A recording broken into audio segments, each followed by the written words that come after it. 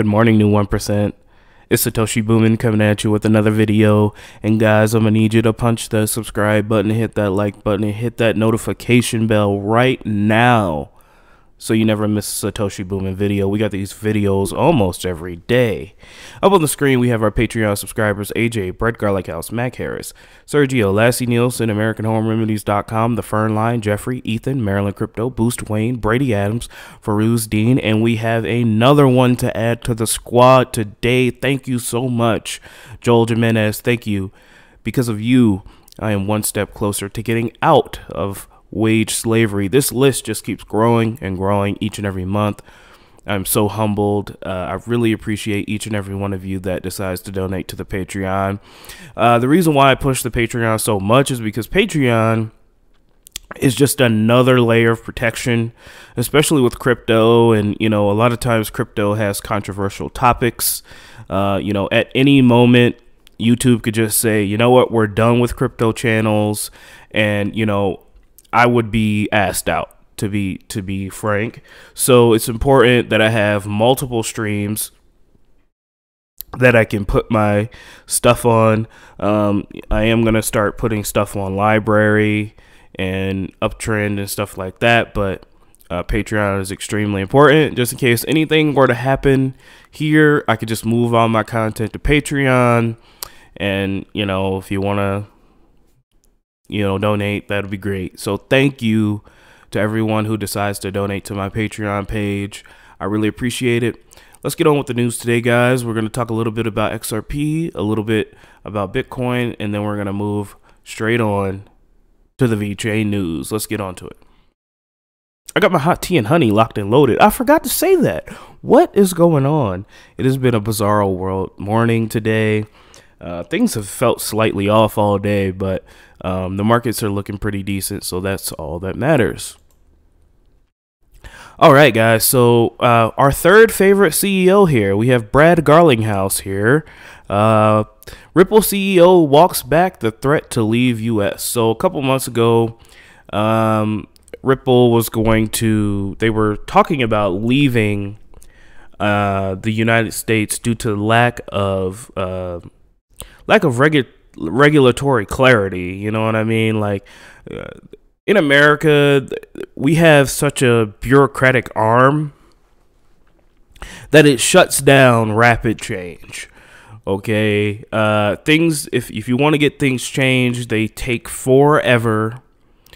They have to go down the bureaucratic arm. A lot of roadblocks. A lot of well, you forgot to cross this. You forgot to put this signature on this form and this form isn't filled out correctly. You were supposed to use red ink instead of black ink. You have to refill out this 50 page form and then you got to send it on the mail. You have to wait three weeks and then you have to blah, blah, blah, blah, blah. It's all garbage, bureaucratic trash, okay?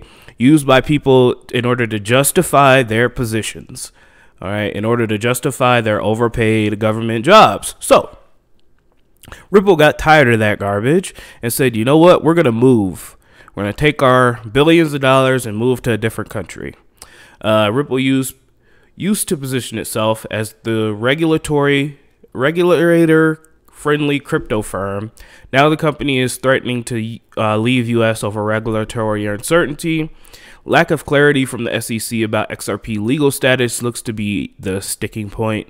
The company is fighting several private investigator investor lawsuits over the securities question and reportedly eyeing an initial public offering. Now, these private investor lawsuits are just butthurt people that lost their money because they probably FOMOed in at $3 and then it crashed.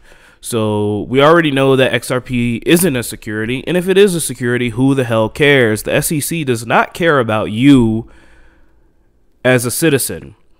The SEC only cares about keeping the control in the oligarchs' hands, all right? That's the only thing they care about. If the SEC actually cared about the American people, then you would be able to discharge student loan debt off of bankruptcy. But they don't care about that. If they were, if the if the SEC did care, and the trade commissions and all these regulatory bodies actually cared about the American people, then payday lenders, loan sharks who charge 30% interest and take advantage of poor people would not be existing, but they do and they thrive. All right, so the SEC, the CFTC, all that garbage, they are against you. And I don't understand why our XRP and Ripple, you know, uh, tries to suck up to these bankers. These bankers do not care about you. All right. These bankers only care about more control, more power, how they can corner the market and get their private jet for next year lockdown, get their 6-week vacation to the to Cabo or wherever the hell rich people go. That's the only thing they care about. So this saber rattling stuff is, you know, I mean, I don't think it's wise. I just think Ripple should just do what Ripple does. You know, stop worrying about US regulations and go after emerging markets, just like Cardano. Ripple might not move out after all, six weeks after announcing he is looking at potentially relocating Ripple's headquarters because of the lack of regulatory clarity around XRP. Brad Garlinghouse is now taking a wait and see approach following the election of Joe Biden as U.S. president. Speaking to CNN's Julia Chatterley on Wednesday, he said payments firm has not made a decision on the matter. Joe Biden is not your ally, good sir. He is going to do exactly what the corporations want him to do, and that is to further the interests of the corporate billionaires and the 1% by, you know, making the dollar stronger. We haven't put a strict timeline on when we will make a decision.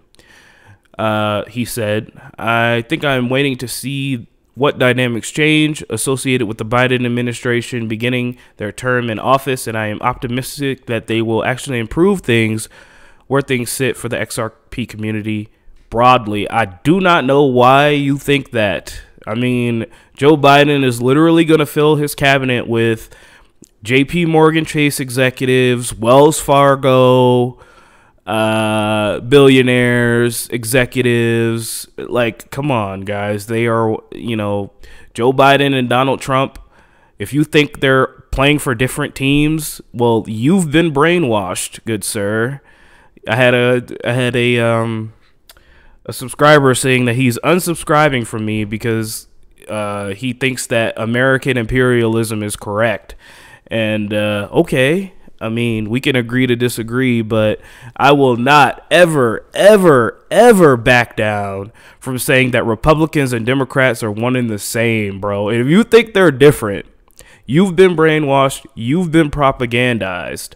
They they literally do the same policy, they just dress it up in different ways. Republicans, they you already know they love corporations and they're going to do everything they can in order to placate and you know bow down to the corporate arm. Democrats on the other hand they will say that they're for the people but then do the exact same thing suck up to suck up to the corporate donors. It's all about corporate donors. Corporations run this country not the president not the senate it's the corporations, Facebook, Amazon, Google, BlackRock, things like that. So I will never apologize for saying that because it's true. And, you know, if you want to disagree with me, go ahead and comment down below. You don't have to be a little pussy and say, oh, well, you don't agree with my politics, so I'm going to unsubscribe. No, make your case down below. Tell me why I'm wrong and give me some facts. You know, I am not a partisan. I don't know how I got on this topic, but it's okay. It's my show, and if you want to listen to it, great. If you don't, go ahead and turn it off right now. But um I am not a partisan, I am not a Republican, I am not a Democrat. I am an independent. All right? And anyone who, you know, is on towing this partisan line garbage, dude, you you drinking up the full Kool-Aid, bro. The Republicans nor the Democrats care about you at all. Uh, so you know, uh, the guy was like, "Oh, you're in crypto, and crypto is naturally capitalist." Well, duh. But is it though? I mean, does is it crypto for fighting imperialism?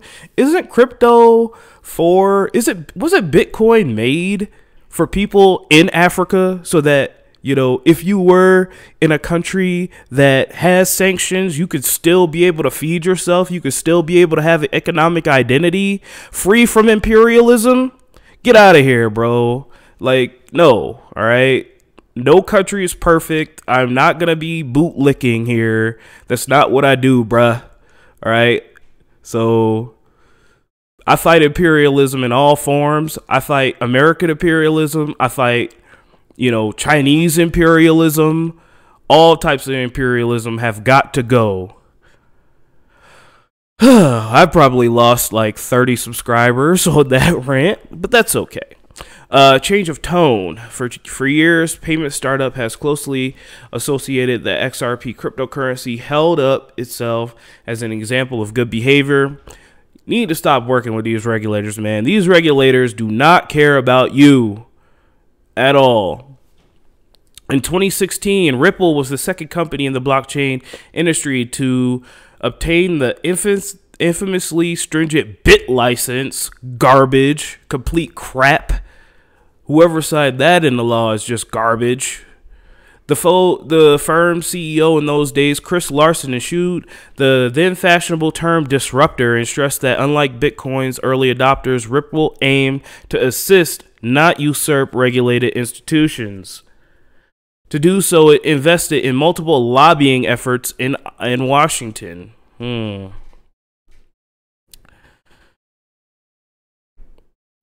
Lately, the San Francisco based company's leaders have been notably less diplomatic. Good. Current CEO Garlinghouse and now Larsen and executive chairman have publicly threatened to move Ripple's headquarters outside of the U.S., citing a lack of regulatory clarity, particularly from the Securities and Exchange Commission (SEC). The company recently announced that it had opened a regional office in Dubai, and I think that they should move to Dubai because you know, it's just the US is behind the times, guys. Like if you're mad at me for saying that, then please unsubscribe, bro. I, I, don't care if you're mad at me for saying that. Unsubscribe right now and don't watch my videos anymore. We are behind the times. China is going to kick our rear ends if we do not get on this crypto in the digital revolution. China has a fully functional uh, uh, contactless payment system. We don't. Okay. Apple Pay and Samsung Pay are trash. They don't work half the damn time. All right. They're going to spend a trillion dollars on blockchain, cloud computing, and infrastructure. Are we going to spend a trillion dollars on our infrastructure? No, we're still trying to figure out how we could get checks to people who can't pay their bills right now because of partisan bullcrap. This is making me very angry and very hyped up because people are just so easy to take sides. And and you know the government has divided us so much now with propaganda and you know my side is better than your side. We are america bro. We should be together you know. We could argue about policy but you know we're at a point now where people don't even talk to other people because they're republican. People don't even talk to other people because they're democrat and if you don't even want to be a part of it they say oh well you have to pick a side because of all this things come to a slow crawl. That's why I talked about a little bit about uh, um, the bureaucratic arm. Don't worry, guys. I will put a timestamp if you want to skip the rant, because I know people are going to be butthurt that I ranted for 15 minutes about the government. Well, too bad. I love you anyway. I'll still have this VeChain news for you each and every day. Um, so I think they should move. Uh, XRP is a good coin. They need to stop playing nice with these people. The, the, the regulators don't care about you, man. The only thing the regulators care about is how they could get keep their jobs for next year.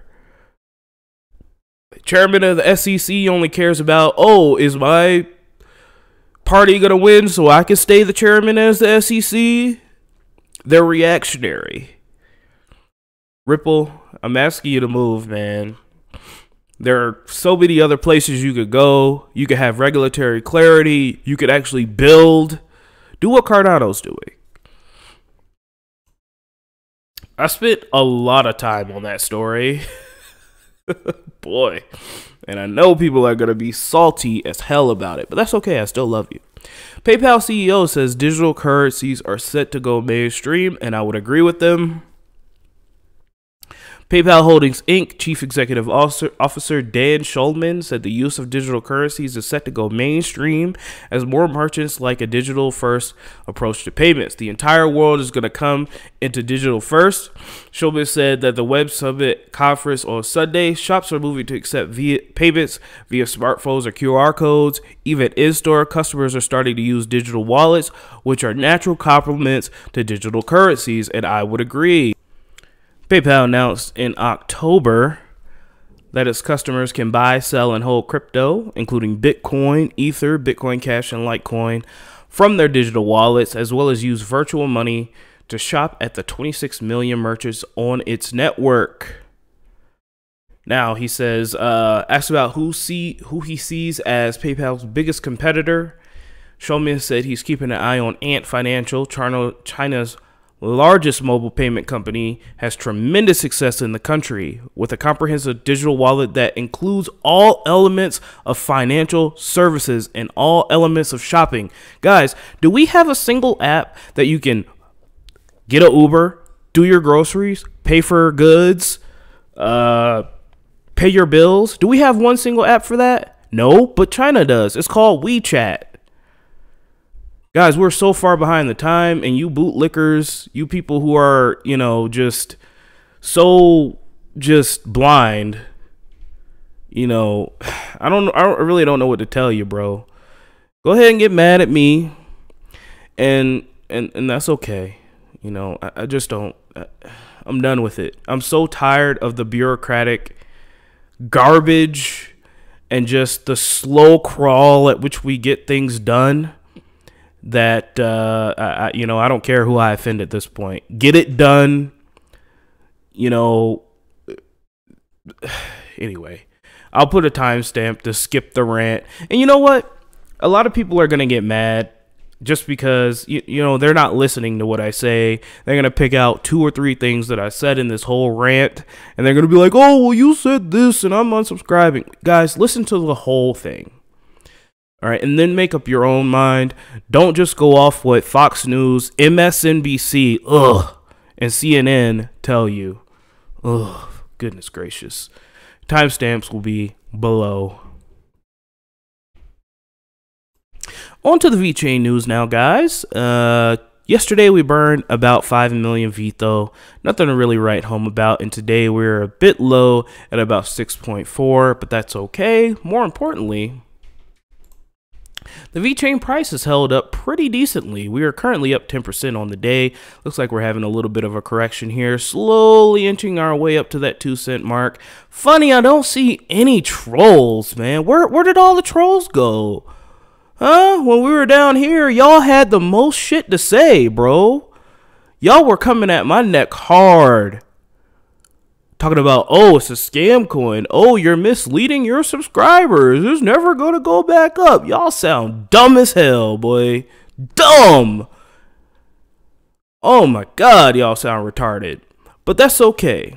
I haven't heard anything from those those uh, trolls in a long while, so I, I assume that they're you know riding I assume they traded all their money into Bitcoin and they're going to ride that. Until that doesn't move then they're going to come back after they've sold at the bottom and then you know come back and try to ride this wave. Or they're going to buy back again at 2 cents and then complain when we have another correction talking about oh, shut up. So we're back. We're up we're up 10.5% on the day. Um yeah not really yeah you know, it's just natural market cycles. Ain't nothing changed. Nothing changed. We're still stacking VeChain and chilling. All right. We've got a couple stories by the wonderful Eisenreich. All right, guys, go ahead and follow him. Uh, after demonstrating the efficacy in the Mediterranean Hospital of Cyprus. Another top of the line facility, Aretaeio Hospital, has joined the VeChain ecosystem and has integrated into the EHCert app throughout the lab testing services. So we have yet another uh, hospital joining the boat. Okay. Amazing news. Eisenreich again posts uh, VeChain and Flabs Lab digitized on the VeChain Thor blockchain. Inspired by Ali, Flabs Lab plays homage to the latest international trends with a passion for creativity and celebrates all things designed. So it looks like uh, Flabs Lab here um, has joined forces with VeChain in order to track and trace some. It looks like some NFTs here. Oh, actually, no. They are actually, uh, yeah, yeah, NFTs digitized on the VeChain Thor blockchain. Uh, not only can you get an NFT, but it looks like you can get a mini figurine here as well. So that's awesome. Just another use case. And lastly, um, from Eisenreich here, go ahead and give him another follow. Um, VeChain and the Republic of Cyprus. So the Cyprus Deputy of Deputy Minister of Research, Innovation, and Digital Policy is promoting that upcoming webinar that we're talking about. That webinar again is on December 15th. Um, it is definitely an important webinar. There's going to be a lot of important people there. Cream is going to be there. Uh, Idante, uh, eCert, just all all the major VeChain partners are going to be there. Grant Thornton's going to be there talking about talking in that webinar as well. So it's definitely an event you don't want to miss. All right, so this was an interesting little tidbit here yesterday. Uh, we covered this a little bit yesterday, but I wanted to go over this a bit more here. Customers confirm that VeChain is safe, is faster and easier to deploy than IBM Food Trust. All right, guys, every single uh, partner that we've onboarded to the VeChain Thor blockchain seems to love it. I mean, we've had raving reviews from Walmart of China, amongst others, about the ease and the access of this uh, of the VeChain Thor system. And again, guys, remember, we got Walmart of China set up with an entire blockchain traceability system in three weeks. Sam's Club in one week. Absolutely insane. VeChain America CEO recognizes that Google, IBM, and Amazon getting them bat bucks, boy. Uh, Google, IBM, and Amazon bring legitimacy into the blockchain industry with their involvement in the sector. According to the customers of VeChain, the tool chain is faster and easier to deploy than IBM's Food Trust. Absolutely excellent. So again, guys, go ahead and take a look. I posted uh, yesterday the Humans of the Blockchain Initiative. Go ahead and take a look at that, guys. Uh, it talks about Jason Rockwood and his life and his uh, involvement with uh, crypto. Definitely interesting. But he goes on again to say that he talked to his customers and their tool chain is actually faster and easier to use than IBM's Food Trust, guys. Like, first mover advantage is awesome, but the product has to work. And we actually have a working product. Amazing. All right, final news story of the day. I know this was a very ranty and long video. I know it's not everyone's cup of tea, but that's okay. I still love you. Safe Haven's proof of read contest Inherity Edition. Safe Haven's been doing the dash. Yesterday we we talked a little bit about their bounty program and not their bounty program, their uh, staking program. Um, so you can stake for 90 days. There's a fixed staking rate depending on how much safe haven and node status you have. But now they are doing another event called Proof of Read. This it is dedicated to your knowledge and understanding of Inherity, the only digital, the only decentralized digital inherit solution on the market today. In this uh, competition, you will be asked a series of 10 questions on Inherity. Please review our Inherity docs to learn more about this incredible solution. Those who score a 90% or higher will split a pool of 100,000 safe haven. Absolutely awesome. To be eligible, you must be a member of the Safe Haven Telegram group. Follow them on Twitter. Complete questions on the proof of read exam. The event ends later this month on December 31st, and winners will be announced on the official Telegram channel in the following week. For all who wish to participate, thank you and good luck. Absolutely awesome. I'm going to always put you guys on game. Anyways, you can make a few extra shingles. All right, guys. Wonderful Patreon subscribers. Thank you again, Joel Jimenez. I really appreciate you, you taking that leap and uh, uh, donating to my Patreon. Thank you for Ruse Dean, Brady Adams, Boost Wayne, Maryland Crypto, Ethan, Jeffrey, The Fern Line, AmericanHomeRemedies.com, Lassie Nielsen, Sergio, Mac Harris, Bread Garlic House, and AJ. Wouldn't be doing this without you guys. Taking a look at the next at the Bitcoin block halving here, guys, we have 1251 days. The market is just kind of just doing its thing. Bitcoin uh, is up to about 19.3 right now. Looks like there's some tough resistance at 20k, but we figured that that was going to happen. Ethereum is actually doing amazing right now up to six uh six hundred and thirteen dollars. Absolutely crazy. The market looks pretty good. A lot of a lot of coins are up right now. Crypto.com is up. VeChain is up ten percent. Things are definitely looking good. Cannot complain at all. All right, guys. I have rambled, ranted, and raved for longer than I had anticipated, guys. Thank you so much for listening to me. Don't let your memes be dreams, and I will talk to you tomorrow.